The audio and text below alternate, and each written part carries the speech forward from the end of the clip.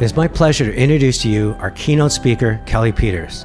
As many of you know, Kelly is the CEO and co founder of BEworks.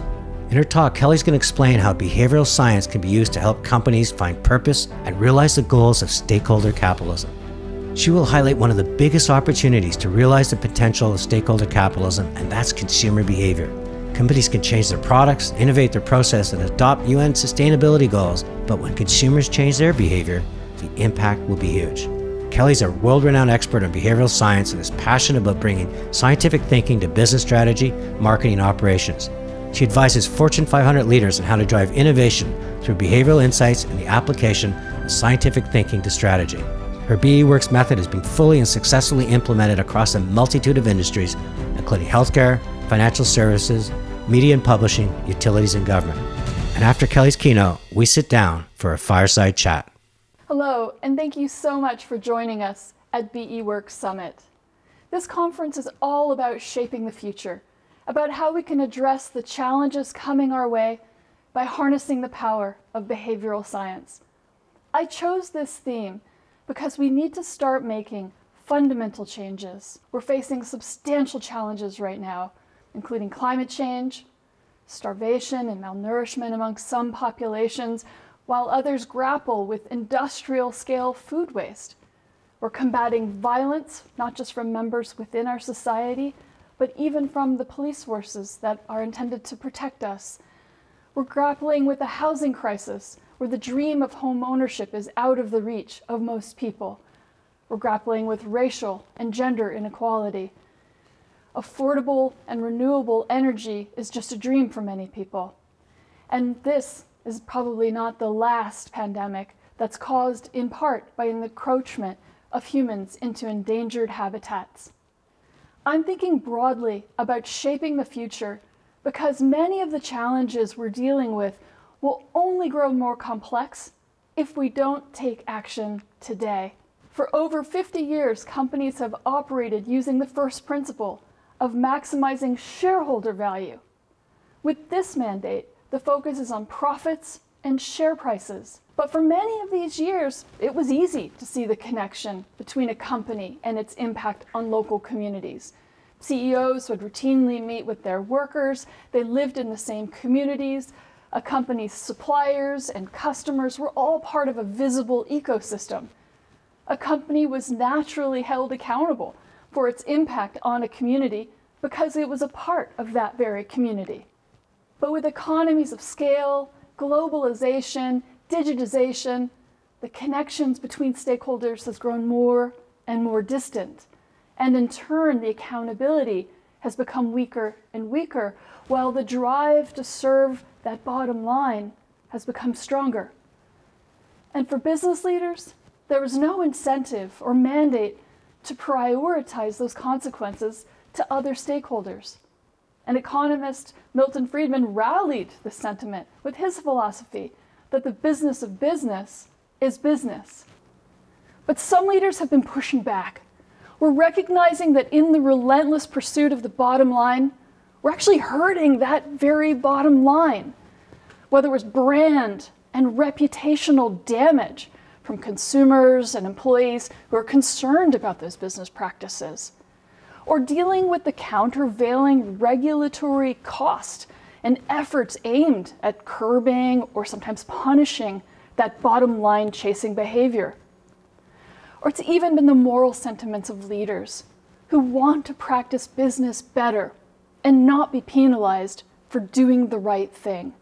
And so, two years ago, the Business Council Roundtable the organization comprised of the CEOs of the world's largest companies came together to reject shareholder capitalism and pledged instead to a broader, bolder mandate, a new statement on the purpose of a corporation. It declares that the purpose of a company should benefit all stakeholders, not just financial stakeholders.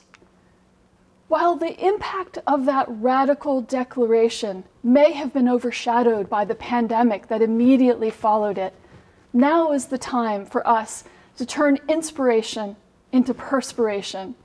We've all agreed that these are the right things to do, But there's still so much to be done, not only in how we're going to measure progress, but the path we will take to achieve these goals. The answer lies in changes to business philosophy and methods, in innovative market solutions, as well as regulation in the law. But also, stakeholder capitalism will rely very heavily on behavioral change. And this is where behavioral economics comes in. While stakeholder capitalism can provide us with a North Star on what ought to be done, behavioral economics, with its insights on human nature, provides us with the strategies and the tools to drive behavior change. And many companies are doing it.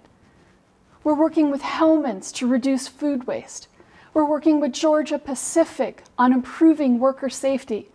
We're working with the leaders at Canadian Tire Financial Services to improve the call center experience and help people manage their debt better. We're working with leaders at IBM to improve the happiness and the productivity and the collaboration amongst employees. We're working with TD Insurance to make buying insurance an easier and better experience for customers. We're working with innovators at Sidewalk Labs trying to pioneer and re engineer the very cities we live in. And we're working with the city of Charlotte to transform recruiting of police forces to build better, more trusted leaders within the police community. And last but not least, we're working with governments like that in Miramar to help protect democracy. When it comes to stakeholder capitalism, or more specifically, sustainability, the biggest and most impactful moves may come from changing customer behavior. Unilever estimates that about 70% of the greenhouse gas footprint depends on which products customers choose and whether or not they dispose of them in a sustainable manner. So, what are the barriers then that we face in driving behavioral change? Well, one is the say do gap. Let's think about our own behavior. We all say we want to be a part of change. But in a recent survey, 65% of us say that we want to buy purpose driven brands that advocate sustainability. But the challenge is only about 26% of us do so. We all say we want to make sustainable choices. And yet, report after report concludes that plant based diets are a major opportunity for mitigating and adapting to climate change. And yet, how many of us have made the shift to vegan diets, or at least routinely eating less meat? A second challenge is self perception. It's not just the gap between what we say and what we do that we need to confront, it's our own self perceptions. In our research on reducing food waste, over 80% of households say that they are above average when it comes to minimizing food waste. As consumers, we don't even see that we're part of the problem. And another barrier is we have a self serving view of our own behavior. We all believe we're making good environmental choices. But in our research on food waste, consumers who put their food into the compost bin consider that a net positive environmental behavior. And while it is marginally better than discarding it into general land waste garbage, the manufacturing, the distribution, the storage of that food all still contributes greatly to greenhouse gas emissions. It's very human for us to justify our own behavior. So, how do we drive behavior change? It's not just as simple as labeling something green. For some businesses, the price of their products and services is going to have to increase. And we're going to have to get customer buy in. How do we get people to pay more money for the same thing that they were getting before? How do we get people to change their preferences and their fundamental behaviors?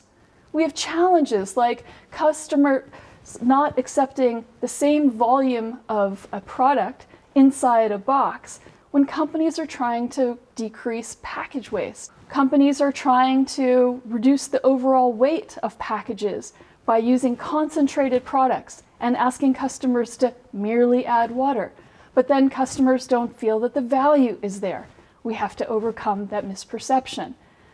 There's slight inconvenience that might be introduced for things like introducing electric vehicles that require people to fundamentally change their behavior, and yet this is a way to radically reduce greenhouse gases. Or we have to confront our very identity. Something like vegan is seen as something uh, soft and effeminate, and some people resist the idea of becoming vegan because of their own identity. So, how do we drive behavior change? It's about understanding the foundations of behavior. It's the science of learning about the heuristics and biases that govern our choices. It's about leveraging choice architecture, the nudges and boosts and cascades of interventions that can come together to help shape behavior. What else do leaders need to do to unlock stakeholder value? They need to embrace scientific thinking. That means we can help leaders move beyond the vague domain of morality and doing the right thing, and instead ask questions like how can we become a more purpose driven organization? But instead of just getting stuck there, we can move beyond that to more concrete questions like what specific behaviors do we need to change? How will we measure outcomes? What techniques of behavior change will be effective at turning intention into action? Leaders can stand on the shoulders of giants. You don't have to go it alone. There's a plethora of research on the psychology of decision making and behavior that can help business leaders transform their products and services and lead to increases in stakeholder value. And last but not least, business leaders can embrace experimentation a process of trial and error to discover what's working, what's effective at actually changing behavior. These are the nuts and bolts of making change happen. We need to take a close look at what choices we're making and what's keeping us from making those better choices and how we can make decisions that improve the world. That means we need to go beyond thinking about using nudges for simple marketing challenges Instead, we can think about the ways in which behavioral insights can help us achieve something bigger than that, to construct the world we want to live in. We live in a complex ecosystem where we all play the roles of consumers, producers, members of communities, and leaders. Success means empowering ourselves to be the best versions of humanity we can be for all stakeholders. Because there's never been a better time for us to rethink what it means to be a good leader, to create a thriving society by applying the science of behavior change. Thank you.